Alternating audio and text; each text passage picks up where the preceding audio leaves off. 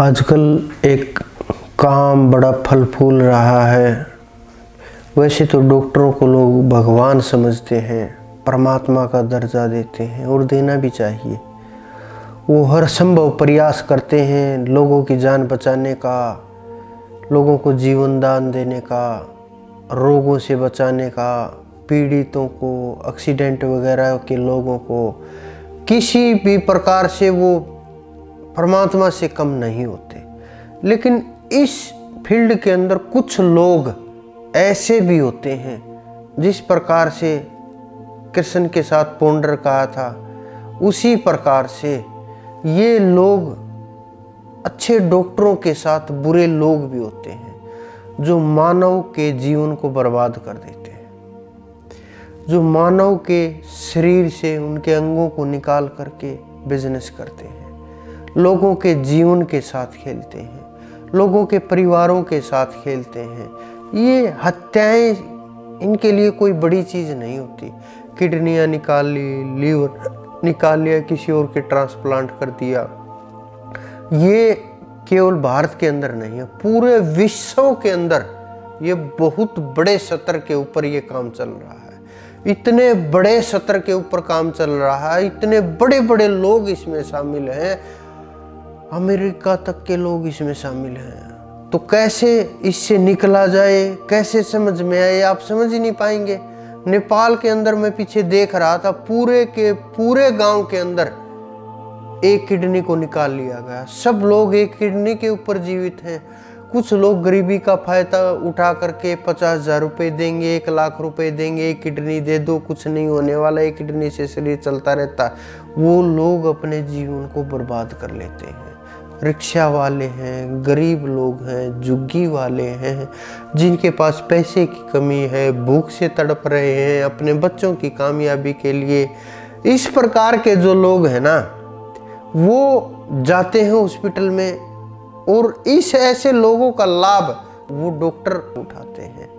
लेकिन ऐसे डॉक्टरों का किस प्रकार से भला हो सकता है?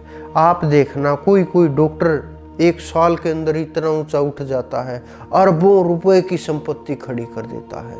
दो साल के अंदर बहुत हॉस्पिटल खड़े कर देता, कहाँ से आए भाई आपके आसपास भी डॉक्टर हैं एमबीबीएस भी हैं एमडी भी हैं एमएस भी हैं, सब प्रकार के डॉक्टर, वो क्यों नहीं उठ पाए? क्या कारण है? उन्होंने ऐसा क्या लग कर दिया? बहुत से कई हॉस्पिटलों के बारे में मैंने देखा है कि आदमी मर गया, पीछे से लाश को निकाल दिया और जला दिया। क्या मिलेगा उससे? आपको पैसे तो मिल जाएँगे, लेकिन शांति नहीं मिलेगी।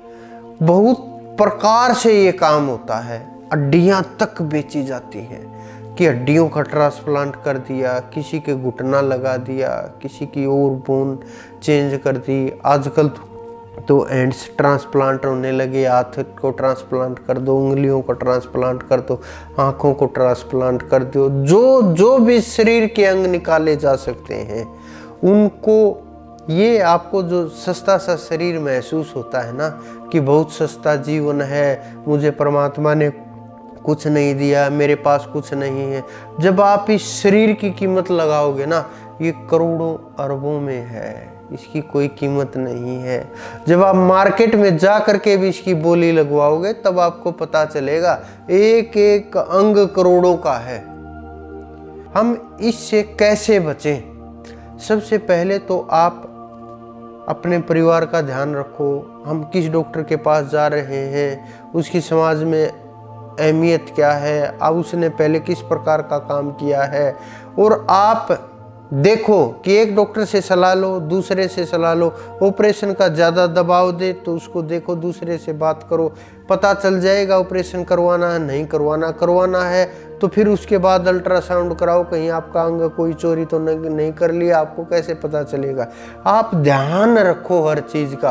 आपका कोई पेशेंट है उसकी डेड बॉडी है आप उसका ध्यान रखो डॉक्टरी कराओ अच्छे से और अच्छे से पता करो कि, कि कोई अंग चोरी तो नहीं कर लिया किसी ने हमारे किसी प्रियजन के अंग को निकाल करके बेच तो नहीं दिया, लाभ तो नहीं उठाया। अंग दान करना एक अलग बात होती है कि हम अपनी इच्छा से आँखें दान कर दें, किडनी दान कर दें, लीवर दान कर दें, हार्ट दान कर दें। ये अपनी इच्छा से अगर हम करें तो बहुत अच्छी बात है। समाज के लिए भी और लोगों के लिए भी, आपके लिए भी बहुत बड़ी बात होती है। लेकिन अगर कोई डॉक्टर उसको चोरी करके और उसका धंधा बना दे बिज़नेस बना दे तो इस प्रकार के लोगों को से आपको शिकार नहीं बनना है, बच के रहना है, समझ के रहना है, संभल करके रहना है और अपना, अपने परिवार का, आसपास के लोगों का आपको बहुत ध्यान रखना है।